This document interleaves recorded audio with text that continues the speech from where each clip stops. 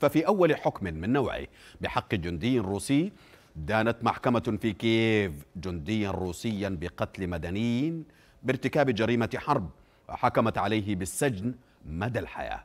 وقال القاضي سيرجي أغافانوف إن المحكمة خلصت إلى أن فاديم شيشامارين مذنب حيث أقر شيشامارين في وقت سابق أمام المحكمة أنه قتل الأوكراني ألكسندر شيليبوف البالغ من العمر 62 عاما. في شمال شرق أوكرانيا في أولى أيام الحرب. أدين الجندي بتهمة القتل العمد. وقال القاضي إن عملية القتل ارتكبت بنية مباشرة في انتهاك لقواعد الحرب.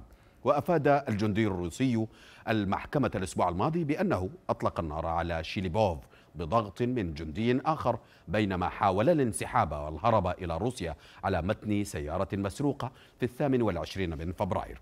اعتذر الجندي الروسي وطلب الصفح من أرملة شيليبوف وأكد محاميه فيكتور أوفيسانيكوف أنه سيقدم استئنافا ضد الحكم.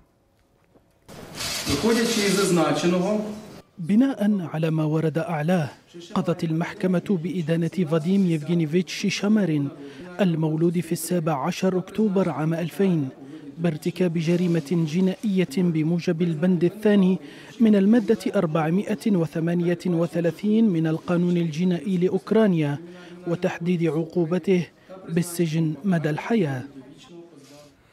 وفي سياق متصل استبعد الناطق باسم الكرملين ديمتري بيسكوف إمكانية مبادلة أسرى كتيبة أزوف الأوكرانية الذين استسلموا في ماريوبيل بالسياسي الأوكراني المعارض فيكتور ميدفيتشوك المحتجز لدى كييف. الكرملين قال إن الغرب تسبب في أزمة غذاء عالمية بفرضه أشد العقوبات على روسيا بسبب الحرب في أوكرانيا.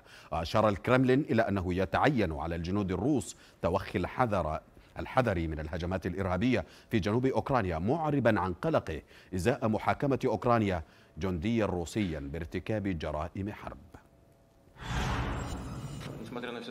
على الرغم من كل الصعوبات أود أن أشير إلى أن الاقتصاد الروسي يتحمل صدمات العقوبات جيدا. جميع إحصائيات الاقتصاد الكلي تثبت ذلك. لن أسردهم الآن وسأريكم ما يحدث خلال حديثنا. بالطبع ليس سهلا. كل ما يجري يتطلب اهتماما خاصا وجهدا من قبل القطاع الاقتصادي للحكومة. وبشكل عام أود التأكيد على أن هذه الجهود لها تأثير إيجابي.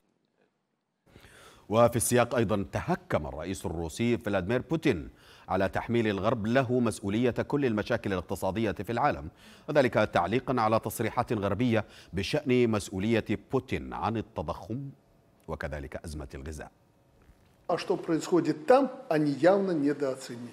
Они жили, читая средства свои, свои средства массовой информации, ну и получили и инфляцию. Правда, Путин виноват. Там во всем виноват Путин. Поэтому... Мы с ним серьезно поговорим. да, да.